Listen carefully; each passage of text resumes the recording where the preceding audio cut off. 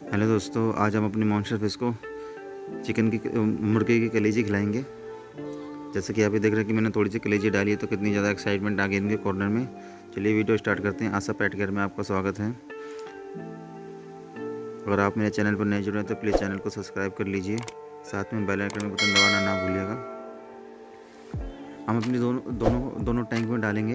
थोड़ा थोड़ा chicken chicken की कलेजी होती है वो और चिकन हार्ट मैंने दोनों को बिल्कुल छोटे छोटे टुकड़े कर लिए हैं और मैं दोनों को डालूँगा। देखिए कितनी जल्दी कंज्यूम करेंगे कि विद ए सेकेंड यानी दो से चार सेकेंड के अंदर में बिल्कुल ख़त्म।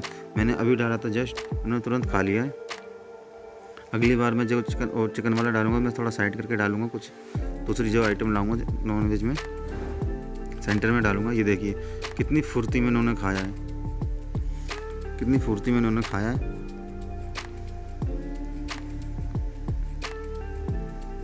हमारी पैरेट फ़िश भी एक्साइटमेंट है और ये देख सकते हैं बेबी ऑस्कर जो मीडियम साइज़ वाली है, उसने भी काफ़ी अच्छे से अपने माउथ में पिक कर लिया है। और हमारी जो बड़ी वाली ऑस्कर है, उसने भी और हमारी और हमारी शॉर्ट बॉडी ने भी काफ़ी अच्छे से इसमें पिक कर लिया है।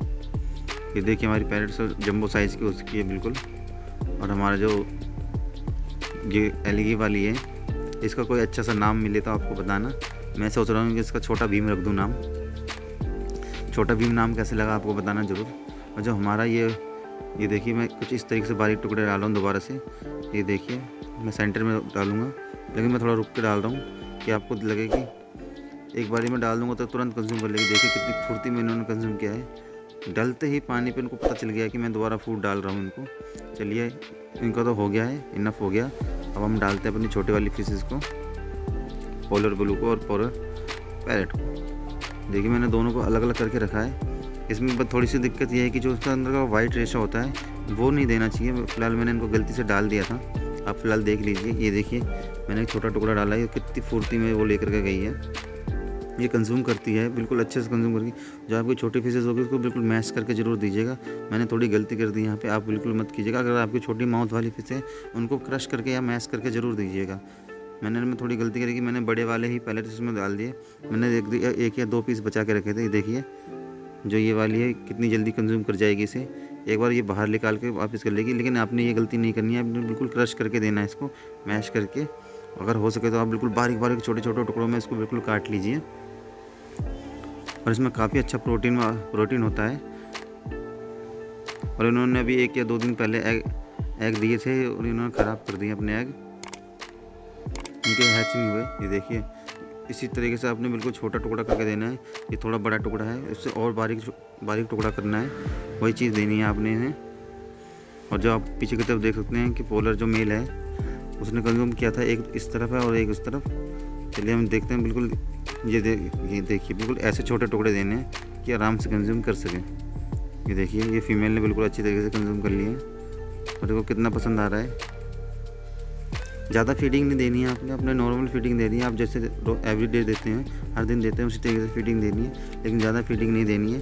ये देखिए, इसमें आपको वाइट सा रेसा दिख रहा होगा, लेकिन ये कंज्यूम कर लेगी। अगर ये नहीं कंज्यूम कर पाएगी तो हमारी एलगी वाली इसमें भी है, वो उसको बिल्कुल क्लीन कर देगी, साफ़ कर देगी। ये दोनों में लड़ाई होती हुई पीछे की तरफ़। फीमेल अपना दबदबा दिखा दिखा रही है और मेल अपना दबदबा, कि पहले कौन खाएगा? ये फीमेल लेकर के आगे। यहाँ पे फीमेल विन है। लेकिन आपने कोशिश करना है कि थोड़ा इनको बारीक क्रश करके ही देना है, क्योंकि कभी कभी चांसेस ये हो जाता है कि कहीं इनके माउथ में अगर फंसा रह गया और ये ब्लोट नहीं कर पाई बाहर तो ये इनको, इनकी डेथ भी हो सकती है मर भी सकती हैं। लेकिन आपने कोशिश करना है कि जैसे कि वो पीछे पड़ा हुआ है, वो ये खा लेंगे अभी, या नहीं खा पाएँगे तो फ़िलहाल हमारे पास शक्कर कैट है वो कंज्यूम कर जाएँगे। फ़िलहाल ये आ तो गई है खाने के लिए। और इसमें आप देख सकते हैं कि जो वाइट वाइट कलर का रेशा है इसके माउथ के साथ, वो वही चीज़ मुझे निकालनी थी, इसमें से जो मैं निकाल नहीं पाया। और इसमें से भी इसने फीमेल के छीन लिया, जब तक मैंने आपको दिखाया उसमें से फीमेल छीन रही है बार बार उसमें टुकड़े कर तो दिए उन्होंने, छोटे।